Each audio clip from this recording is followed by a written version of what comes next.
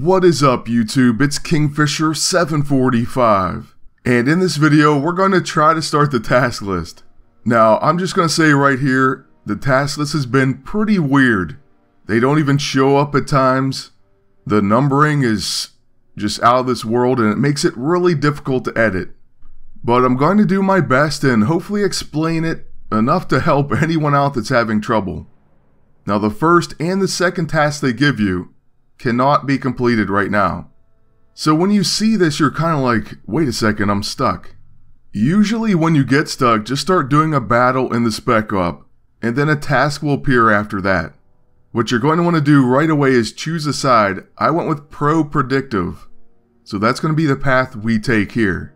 After you do the first battle, which is to fight some Isosaurs, it's actually going to count them so we got 3 of 4. We have to defeat one more to complete apparently task number 2 of 6. So we're going to go back in and fight some more Isosaur, and the cool thing about Pro Predictive is you can use Cloak and Dagger and Iron Patriot. Some very powerful AoE attackers. And I love being able to get through these waves extremely fast. Counterattacks don't hurt either. That's for sure. We should be able to mow through these guys just without any problem whatsoever. And on Cloak and Dagger's turn, we'll use a Shot in the Dark, which drops both of the remaining enemies. So final wave already. We're going to attack the Elder with the Blade of the Guardian. Then he'll take Absorb Energy damage. And Cloak and Dagger will use Blackout. Now just to let you guys know what's going on, well right now it's raining pretty heavily. But during this week I've had to complete quite a few projects. And I got 3 done already and one paper left to go.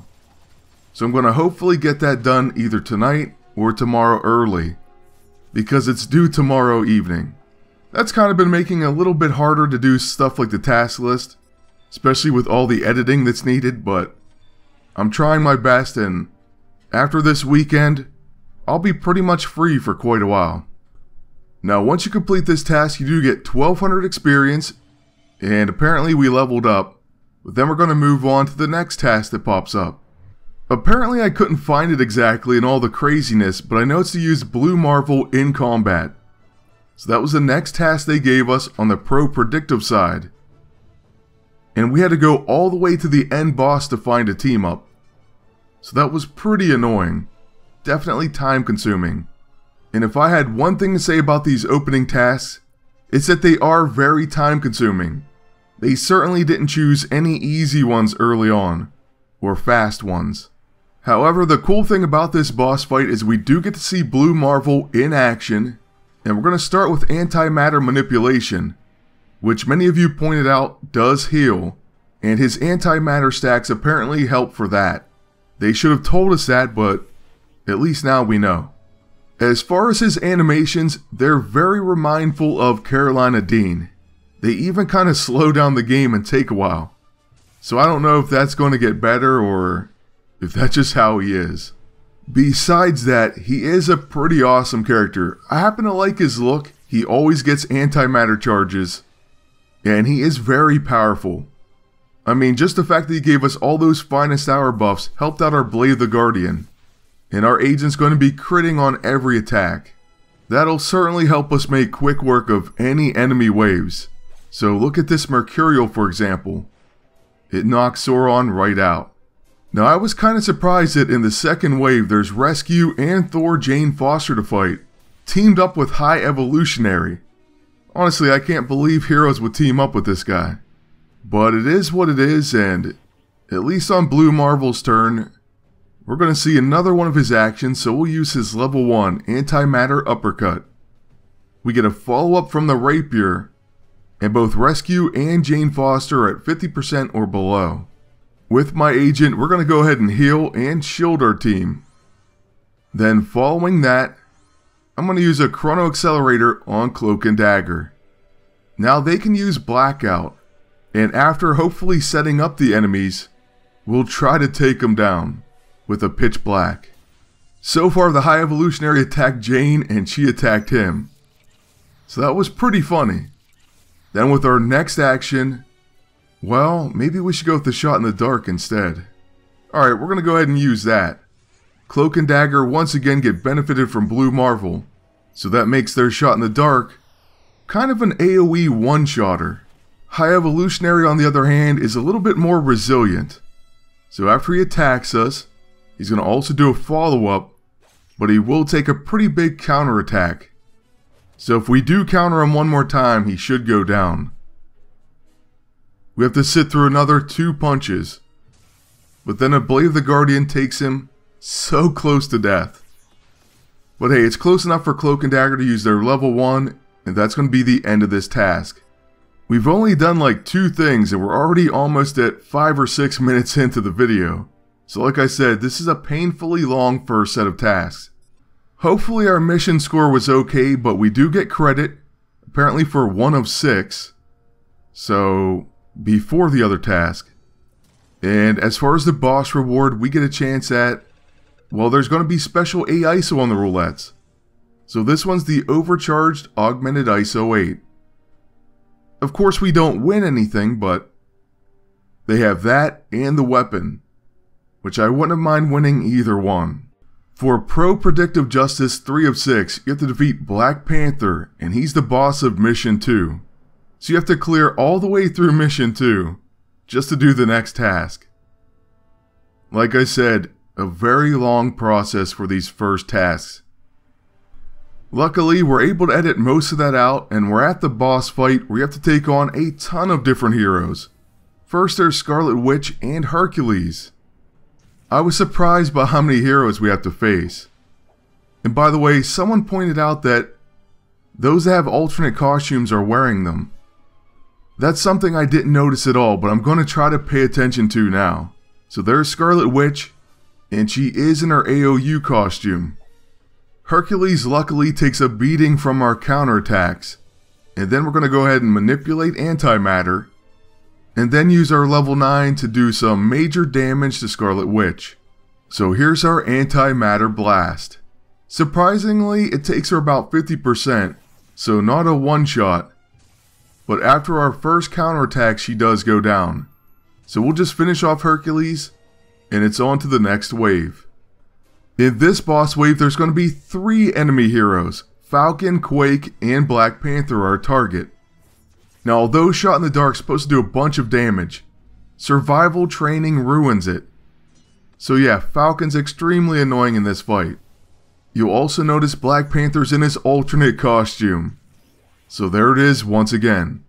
I know I definitely need to make another video on it. The last one, well, I didn't get to do everything I wanted to do, like show his passive actually proc. So we are going to have another video of him, at least one more, next week. I just can't wait to be done with this semester. The end of it had so many projects. I almost can't believe it. There were multiple due in one class, and that made it even worse. The other thing that's stupid about college is the end projects or finals are worth way more points than just about everything else you did. So it's like the rest of the semester was almost a waste.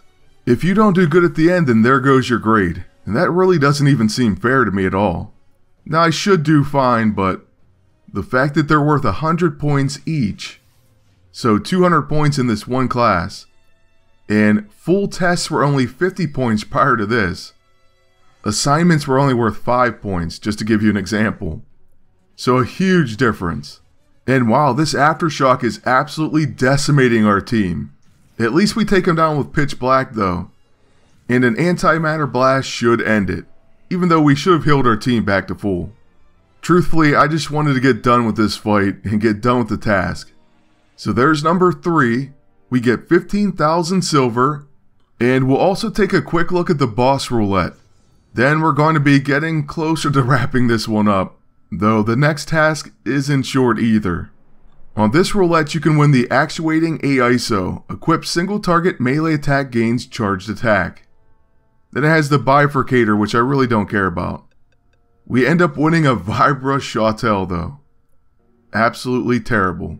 Then on to task number 4, you have to fight 5 PvP battles. They couldn't even make it 3, it has to be 5. So we're going to show the last fight we had, and we were actually using Black Panther's ult, so at least we have that. Actually, I just want to correct myself. We're still not going to get the blueprint after this one. we're going to have another thing to do. But at least we got some really easy fights, like against just an agent and Kraven. So thank you, Agent Zoom. We were using Blade and Black Panther with his ult at the time, so Blade's gonna go first, and just watch this. He'll absolutely tear through Kraven the Hunter. We'll begin with the Bleeding Edge, and he'll do another Bleeding Edge because of that. Following that, we'll use Dead by Dawn, and he'll get his other follow-up attack. At the end of this, Kraven's already knocked out, so time to just focus on the enemy agent. We'll put Despair on him, then we'll let Black Panther have a shot. He'll begin with Combat Claws. Then Blade will do another Dead by Dawn, followed up with Bleeding Edge, and the agent's actually going to go down to dots, so that's the end of this fight. Alright, that means we have task number 4 down, and we got, I believe, 1200 experience. But we need to quickly move on to task number 5. You probably won't believe this because I absolutely did not, but they want us to defeat Iron Man, the boss of Mission 3. So yeah, we have to clear another full mission just to do the next task. Talk about a time sink when I don't have any time because of school. This was absolutely dreadful. Honestly, I have to cut this battle because otherwise we'd be over 20 minutes. Just know it's three waves, extremely long. You start against two heroes, then three Ultron robots. And finally, Iron Man and Hank Pym are teamed up with Ultimate Ultron. So these guys are willing to team up with just about anyone to fight us. Maybe they'll even team up the Red Skull next. I mean, name the most evil villains. Apparently they're willing to do it. By the way though, what's eye-opening is Captain Marvel of course is also on Pro Predictive Justice side. So they had the best heroes by far. At least in my opinion. The bad news is, we're going to have to wait through a lot of turns right after Captain Marvel's done. Hank Pym and Iron Man both get two. Oh, and we end up attacking our own teammates quite a bit. Thankfully, we take down Hank, that way we don't have to go through quite as many enemy turns. Unfortunately, Ultron won't be as easy to take down. Plus, we have to sit through both of Tony's turns. At least his Digger missiles miss Captain Marvel, though. Now, with Cloak and Dagger, we're going to use Child of Light. And then, we didn't need to use it, but I also tried Child of Darkness. Too bad they didn't get an opportunity to attack because they probably could have took down Iron Man and severely hurt Ultron. Plus, next turn they're going to be out of stamina still. So I guess we're just going to have to use Smothering Shadow. Then the Blade of the Guardian on Iron Man. And instead we hit our own teammate one-shotting her. Now that was bad luck. And it's going to hurt our mission score too. So now we have one character out of stamina. Oh, but at least we do get a counterattack taking down Iron Man. So we'll just recharge with Cloak and Dagger. And we'll see what Ultimate Ultron's going to do on his turn. Well, first he misses Cloak and Dagger. Then on our agent's turn, we'll just use Blade of the Guardian and finish it off. So there it is. Now we're finally done with that last task before we get the blueprint and can move on to the first research. It still says we got perfection, but I'm sure our score was hurt. But here's the blueprint for the Vibranium Mystic Amplifier, and we got 15,000 silver. Moving on to another boss roulette, hopefully we actually win something good this time. I'm sure there's going to be another custom AISO. And there's also the Ultron arm. The conducting AISO says equip single target electric attack applies ozone. So here goes our spin, and we end up winning 20 unstable ISO 8, so not too bad, we will actually take that. Then for the final step of the video, we got task number 2 ready, and that's complete 5 tasks to unlock the blueprint, then research it in the lab. It's going to take 8 hours, 40 unstable ISO 8, and 100 silver. So we'll get that started, and we'll be back with part 2 soon. That's going to be it for this one, but I do want to thank you all for watching. Ask you please like, comment, and subscribe. Then until next time, good luck and take care.